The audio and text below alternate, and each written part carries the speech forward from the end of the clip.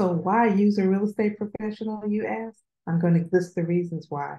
My name is Vanda Crossley. This list was provided to me by the awesome Brandye Foster. She is the sales executive at Truly Title here in Katy, Texas.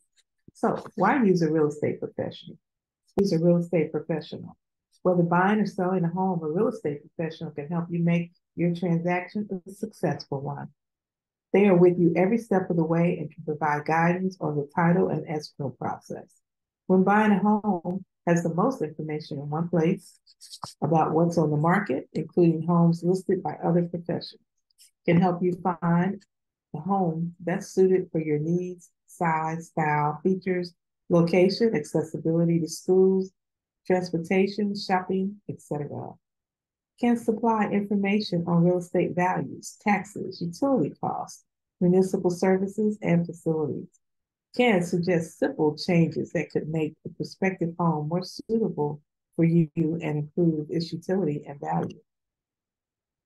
Has no emotional ties to the home, can be objective about it, and can point out its advantages and disadvantages acts as an agent between you and the seller to prevent offers and counteroffers until an agreement is reached, and is bound by a code of ethics.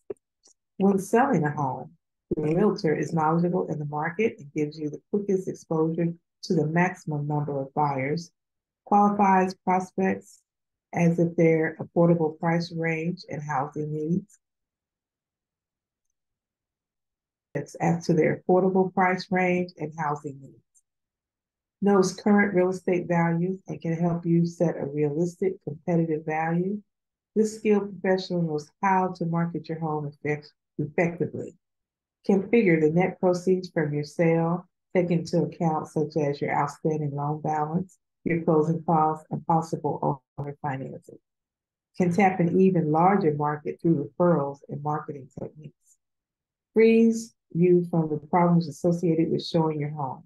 The real estate professional handles phone inquiries, showings, and negotiations of the contract, maintains objectively in presenting offers and counteroffers, and can familiarize you with the closing procedures by explaining all of them in advance.